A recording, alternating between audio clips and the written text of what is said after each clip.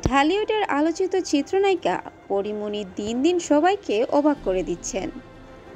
যে ইমেজ তার তৈরি হয়েছিল, তিনি হয়তো সচেতনভাবে সেই ইমেজ মুছে নিয়ে একটি নতুন পরীকে মেলে ধরতে চাইছে সমাজে।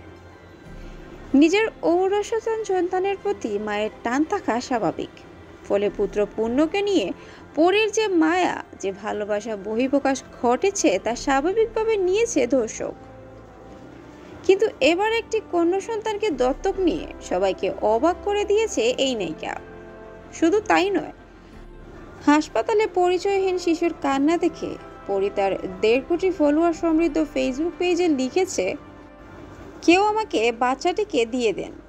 আমার ছেলে ঠিক এইভাবেই আমাকে ডাকে। পরীর এমন মমতাময়ী হৃদয় বারবার মন জয় করছে নেটিজেনদের। এবার মা দিবসে পরি বিশেষ ভিডিও প্রকাশ করে আরেক দফা মন জয় করলেন সবার। পুত্র পূর্ণ আর সদ্য দত্তক নেওয়া কন্যা প্রিয়মের একসঙ্গে একটি ভিডিও প্রকাশ করেছে পরিমণি। সে ভিডিওর ক্যাপশনে পরি লিখেছে happy mother's day to me আমার জীবনের একান্ত নিজের দুইটা মানুষ।